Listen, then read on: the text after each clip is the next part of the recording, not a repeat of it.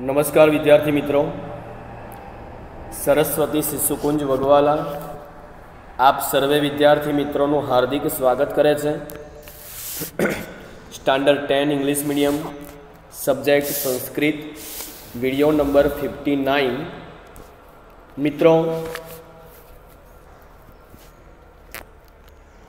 આપણે સંસ્કૃતમાં સેક્શન ઈનું અત્યારે રિવિઝન કરવા જઈ રહ્યા છીએ. તો સેક્શન સી ઈના રિવિઝનમાં પહેલો પ્રશ્ન આવે છે, સિક્વન્સમાં ગોઠવવાના ચાર વાક્યો પૂછાશે. તો સિક્વન્સમાં ગોઠવવાના જે ચાર વાક્યો પૂછાય બેટા, તો એ ચારે ચાર વાક્યો શેમાંથી પૂછાશે? તો તમને એટલો ખ્યાલ હોવો જોઈએ કે નાટ્ય વિભાગ એટલે કે ડ્રામા અને પ્રોસ એમાં ખાસ કરીને ડ્રામામાંથી પૂછી શકે છે. પણ પ્રોસને છોડવા નથી, એમાંથી પૂછાશે. એવું પણ કહી શકીએ. બરાબર છે? એટલે કે ડ્રામા અને પુરુષમાંથી એ પૂછી શકે છે. બરાબર છે? પછી આગળ છે તમારો પ્રશ્ન છે, પેરેગ્રાફ પરથી પ્રશ્નોના જવાબ. પેરેગ્રાફ કેવો છે? અનસિંગ પેરેગ્રાફ છે. તો અનસિંગ પેરેગ્રાફ પરથી પ્રશ્નોના જવાબ પૂછાશે. બરાબર છે? એનું કોઈ રિવિઝન હોઈ શકે નહીં. કઈ જગ્યાએથી પૂછાય ખબર નથી. બરાબર છે? હવે આવે છે તમારું ત્રીજા નંબરનો પ્રશ્ન બુક અને ઓથર બુક અને ઓથર.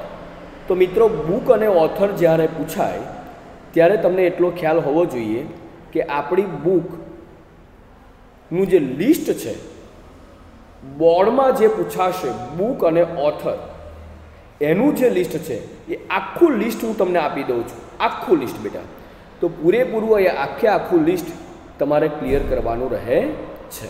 બરાબર છે? તો એ લિસ્ટ તમારી સામે મેં મૂક્યું છે. તમે જોઈ શકો છો કે બુક અને ઓથર બાબતે શું શું આપણી વાતચીતો છે. બરાબર છે? તો જુઓ, એ બુક અને ઓથરનું અત્યારે હું તમને ક્લિયર કરું છું. બરાબર? અહીં આગળ છે ઋગ્વેદ, યજુર્વેદ અને અથર્વવેદ. આ ત્રણે ત્રણ વેદના કોઈ કરતા છે નહીં. કોઈ ઓથર છે નહીં. બરાબર છે? પછી છે પંચતંત્ર. એટલે કે એના ઓથર છે વિષ્ણુ શર્મા. બરાબર છે? પંચતંત્ર એક બુક છે. એ બુકના ઓથર કોણ છે? વિષ્ણુ શર્મા. બરાબર?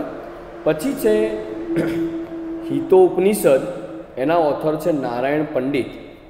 કુમાર સંભવના છે કાલિદાસ. ઘટોત્કચના છે ભાસ. દસ કુમાર ચરિતના છે દંડી. બરાબર છે? તો આ બુક ઓથરો ત્યાં જોવા મળે છે.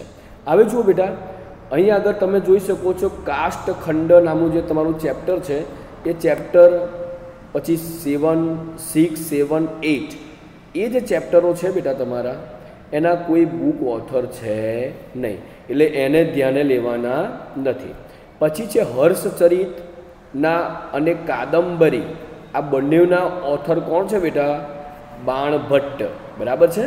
પછી ભવાન અષ્ટકમના છે આદિગુરુ શંકરાચાર્ય. જાતકમાલા છે એના આર્ય સુરહ. બરાબર છે?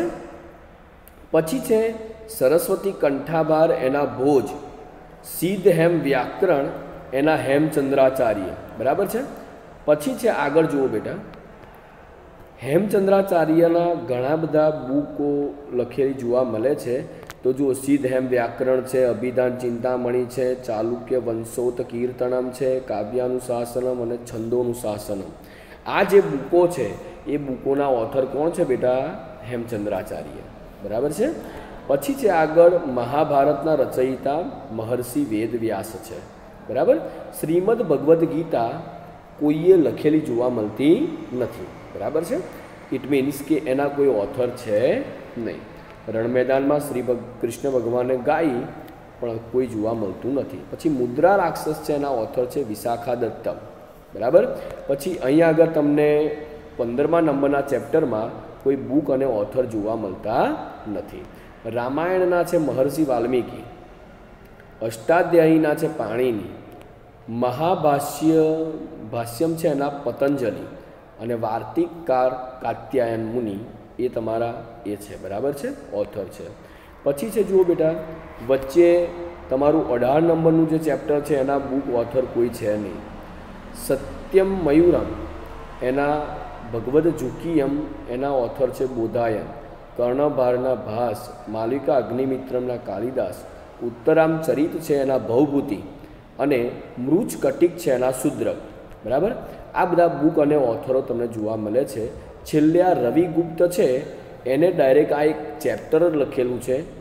એને કોઈ બુક લખેલી જોવા મળતી નથી. કૃતિ લખેલી જોવા મળતી નથી. તો મિત્રો, આ બુક અને ઓથર તમે જોયા પછી, આટલું જોયા પછી, તમને બોર્ડમાં કેવી રીતે પૂછાશે આ બુક ઓથર તો તમારી સામે મેં એક્ઝામ્પલ મૂક્યું છે. જુઓ, એક જોડકા સ્વરૂપે પૂછાય છે. એક બાજુ ઓથર મૂક્યા હોય છે અને એક બાજુ બુક મૂકેલી હોય છે. પંડિત વિષ્ણુ શર્માએ શું લખ્યું? તો પંચતંત્ર. પંડિત નારાયણ ભટ્ટે શું લખ્યું? હિતો ઉપનિષદ તો તમારે તમારે જોડકા ક્લિયર કરવાના છે, બરાબર? એ રીતે બોર્ડમાં પૂછાશે, કર્તા એન્ડ કૃતિ. પછી છે જો મહાકવિ કાલિદાસે શું લખ્યું? કુમાર સંભવમ. મહાકવિ ભાસે શું લખ્યું? દૂધગતોત્કચમ બરાબર છે? તો આ બુક અને ઓથર જોડકા સ્વરૂપે બેટા તમને પૂછાશે. મહાકવિ દંડી, શું લખ્યું? દસ કુમાર ચરિત. બાણ શું લખ્યું બેટા? સોરી બાણભટ્ટે શું લખ્યું? તો હર્ષચરિત. બરાબર છે? તો મિત્રો, બોર્ડમાં તમને બુક અને ઓથર આ રીતે પૂછાશે, તો તમારું જે આ ફર્સ્ટ નંબરનું જે મેં લિસ્ટ આપ્યું, એ લિસ્ટ ક્લિયર કરી દેજો. આની અંદર એકથી દસ ચેપ્ટરમાંથી પૂછાશે એવું નથી, એકથી વીસે વીસ ચેપ્ટરમાંથી પૂછાશે. એનું કારણ એટલું છે કે એકથી દસ ચેપ્ટર તો મેં ગઈ એક્ઝામમાં તમને લઈ લીધા બુક ઓથરના. બરાબર? અત્યારે મેં તમને એક અગિયારથી વીસ કહું છું, એનો મિનિંગ એવો નથી કે અગિયારથી વીસમાં પૂછાશે પણ એટલો શબ્દ વાપરું છું, એકથી વીસે વીસ ચેપ્ટરમાંથી આ બુક અને ઓથરનું લિસ્ટ તમને આપ્યું છે ટોટલી એમાંથી પૂછાશે બેટા, બરાબર છે? તો હવે આવે છે તમારો ચોથા નંબરનો પ્રશ્ન છે. કયો પ્રશ્ન છે?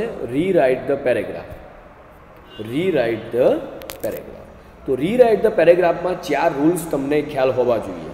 કયા ચાર રૂલ્સ છે? તો તમને પહેલો રૂલ્સ હોવો જોઈએ ખ્યાલ કે કોઈ પણ શબ્દની પાછળ કોઈ પણ શબ્દની પાછળ જો વ્યંજન આપ્યો હોય, બરાબર છે? જો વ્યંજન આપ્યો હોય વ્યંજન, તો મોનો શું થાય છે? અનુસ્વાર થાય છે. બરાબર છે?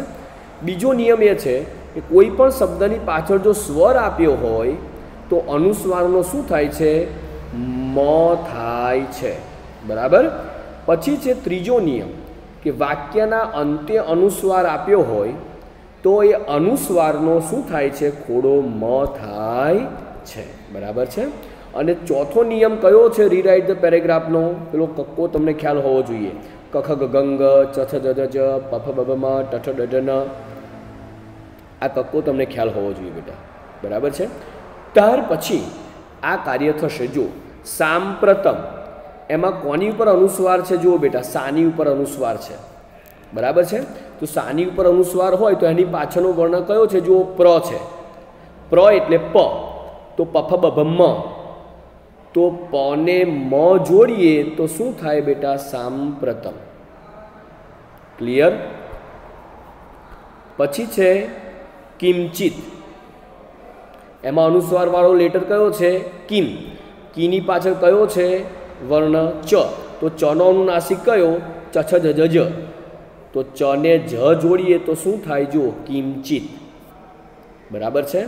પછી છે બેટા જલાશયંતરમ એમાં તમને ખ્યાલ આવી ગયો છે મની પાછળ ગ એ વ્યંજન છે, તો એનો શું થાય? અનુસ્વાર થાય. બરાબર છે? પછી બીજો પેરેગ્રાફ છે, જુઓ. આ બેટા નમૂના રૂપે મૂકેલા પેરેગ્રાફ છે, આમાંથી પૂછાશે એવું કશું નક્કી નથી. બરાબર છે? પણ ચાર રૂલ્સ તમારે ક્લિયર રાખવાના. યદ કામક્ષિતમ અનુસ્વાર કોની ઉપર છે? કાની ઉપર છે. પણ ખરેખર કાની ઉપર નથી, તની ઉપર છે. ત કને જોડેલો છે. યદ કામક્ષિતમનો મિનિંગ થાય કે તની ઉપર અનુસ્વાર છે તો પાછળ લેટર કયો છે? ક્ષ નથી, ક કહેવાય. તો કનો અનુનાસિક કખ ગંગ અંગ છે, તો એને અંગ જોઈન કરો તો શું બને? જો યત કામ ક્ષિતમ. બરાબર? પછી આગળ બીજો શબ્દ છે, જુઓ બેટા, પાંડવ. પાની ઉપર અનુસ્વાર છે. તો પછી પાછળ છે ડ. તથ ડ, ઢ, અણ અણ. અણ આવે તો ડ ને અણ જોડો તો શું થાય? પાંડવ. બરાબર? પછી છે કૃતાંત. તો તાની ઉપર અનુસ્વાર છે. બરાબર? તો પાછળ છે તો. તથ દધ ન આવશે તો ન જોઈન કરો તો શું થાય બેટા? કૃતાંત. બરાબર છે? પછી ત્રીજો છે પેરેગ્રાફ જુઓ તમે. તંદુલહ, તંદુલાહ. તો તાની ઉપર અનુસ્વાર છે? તની ઉપર અનુસ્વાર છે? એની પાછળ કયો છે? વર્ણ ડ. તો ત થ ડ ધ ન. ન અણ. બરાબર? તથ દઢણ તો અણ જોઈન કરો તો શું બને બેટા? જુઓ. તંડુલાહા. બરાબર છે? પછી છે ઈંધનાની. શબ્દ છે ઈંધનાની. ઈની ઉપર અનુસ્વાર છે, પાછળ છે ધ. તો તથ દ, ધ, ન ન ન ન આવ્યો, જુઓ. જો તમે? તો ન જોઈન કરો તો ઈંધનાની થશે. બરાબર? પછી છે કૃષ્ણાંગારાન અપી. બરાબર છે? તો કૃષ્ણાંગા ગાની ઉપર અનુસ્વાર છે. તો ગાની ઉપર અનુસ્વાર હોય તો પાછળ છે ર. પાછળ શું છે? ર. તો તમે જોઈ શકો છો, અંગ. લેટર તમારો અહીં મૂકાયો છે. બરાબર છે? કૃષ્ણાંગારાની. બરાબર? તો મિત્રો અહીં આગળ તમને આટલો ખ્યાલ આવવો જોઈએ કે પેલા ફોર રૂલ્સ બરાબર છે? આ ફોર રૂલ્સ ક્લિયર કર્યા પછી તમારી સામે આવે છે એક્સપાન્ડ મિનિંગ બરાબર છે? તો એક્સપાન્ડ મિનિંગ તમને બધાને ખ્યાલ છે કે chapter one three seven ten આમાંથી એક્સપાન્ડ મિનિંગ તમારા આવવાના છે. બરાબર છે? તો એની જે ડાયજેસ્ટ છે, એ ડાયજેસ્ટમાં જે જે એક્સપાન્ડ મિનિંગ આવે છે, એ બધા જ એક્સપાન્ડ મિનિંગ તમારે ક્લિયર કરવાના રહે છે. બરાબર છે? તો અહીં આગળ જુઓ, ખાસ કરીને કેવી રીતે લખવાનું છે એના માટેની વાત કરી લઈએ. તો જે એક્સપાન્ડ મિનિંગ પૂછાયો છે એનું આપણે ટ્રાન્સલેશન લખ્યું છે અને પછી એનું એક્સપાન્ડ મિનિંગ કર્યું છે. બરાબર? ટ્રાન્સલેશન લખ્યા પછી એક્સપાન્ડ મિનિંગ લખ્યા પછી મોરલ શ્યોર લખવાનું. ચાલશે જ નહીં. મોરલ છે એનું, એ શ્યોર લખવાનું. બરાબર છે? પછી છે, બીજો છે જુઓ, એ જ રીતે છે ટ્રાન્સલેશન એનું કર્યું છે અને પછી એનો એક્સપાન્ડ મિનિંગ લખ્યો છે. પણ છેલ્લે એમણે મોરલ શ્યોર લખ્યું છે. જોયું તમે? બરાબર? પછી છે આગળ કે ત્યાં એક જ સેન્ટેન્સનું એક્સપાન્ડ મિનિંગ પૂછાય એવું નથી હોતું. આવો શ્લોક પણ પૂછી શકે છે. તો એ આખા શ્લોકનું ટ્રાન્સલેશન બિલકુલ શ્યોર લખવાનું પરફેક્ટ બરાબર છે? અને પછી છે એક્સપાન્ડ મિનિંગ બરાબર? બરાબર? અને પછી છે છેલ્લે મોરલ બરાબર? તો મિત્રો, તમને ખ્યાલ હોવો જોઈએ કે આપણે સેક્શન ઈ અહીં પૂરું કરીએ છીએ. સેક્શન ઈમાં પાંચ પ્રશ્નો પૂછાય છે. સિક્વન્સમાં ગોઠવવાના, અનસીન પેરેગ્રાફ પરથી પ્રશ્નોના જવાબ આપવાના, પછી તમારો પૂછાય છે બુક અને ઓથર, પછી પૂછાય છે તમારું રીરાઇટ ધ પેરેગ્રાફ, અને પછી પૂછાય છે તમારો એક્સપાન્ડ ધ મિનિંગ. એમ સેક્શન ઈમાં પાંચે પાંચ પ્રશ્નોમાંથી ત્રણ પ્રશ્નોનું આપણે રિવિઝન કર્યું, અને પહેલાં બે જે છે એ અનસીન છે, એટલે એને આપણે રિવિઝન સ્વરૂપે લેતા નથી. એ તમારે તૈયારી કરે છૂટકો છે એક એક, એકથી દસે દસ ચેપ્ટરમાંથી. બરાબર છે? હવે જુઓ બેટા. સેક્શન એ બી અને સી ખાસ નોંધ ધ્યાન રાખજો કે એ બી અને સીમાંથી જે જે પ્રશ્નો મેં રિવિઝન સ્વરૂપે લીધા છે, એમાંથી જ પૂછાશે એવું માની લેવાની તમારે જરૂર નથી. એડિશનલ પ્રશ્નો પણ પૂછી શકાય છે. બરાબર છે? પણ એટલું ધ્યાન રાખવાનું કે ખાસ કરીને એક્સરસાઇઝના પ્રશ્નો ઉપર આપણે ધ્યાન વધારે રાખવાનું છે. તો મિત્રો, આજની પીડીએફ હોમવર્ક જે મોકલવામાં આવે, હોમવર્ક ક્લિયર કરજો. હોમવર્ક ક્લિયર કર્યા પછી એની પીડીએફ બનાવી, હોમવર્ક ગ્રુપમાં મોકલજો.